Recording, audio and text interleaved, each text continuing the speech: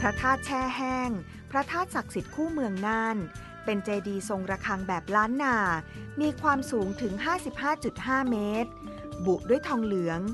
ปิดทับด้วยทองคำเปลวสีทอง เหลืองอารามตลอดองค์ฐานเป็นสี่เหลี่ยมขนาดใหญ่ รองรับฐานบัวลูกแก้วย่อเกตถัดขึ้นไปเป็นฐานสี่เหลี่ยมและแปดเหลี่ยม ซ้อนลดหลั่นกันสามชั้น องค์ระฆังมีขนาดเล็ก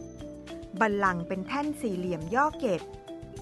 ชั้นบัวคว่ำเหนือฐานแปดเหลี่ยม ตกแต่งคล้ายกลีบบัวหรือลายใบไม้ ซึ่งรับอิทธิพลจากศิลปะพม่ามาต่อเติมภายหลัง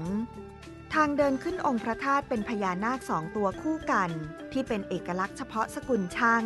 และศิลปะของน่านโดยแท้จริง กรุงศรีร่วมสืบสารความเป็นไทย